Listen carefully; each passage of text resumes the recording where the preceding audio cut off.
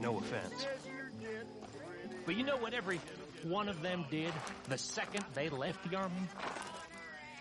Join the goddamn army again. Jesus Christ.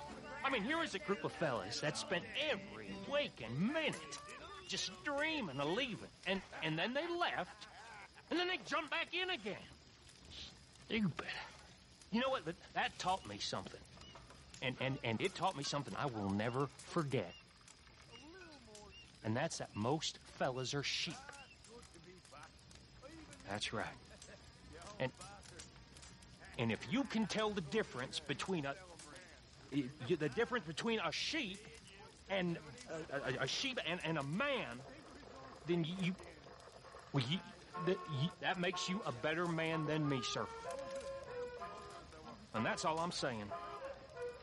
Mark my words, all of you, mark my words.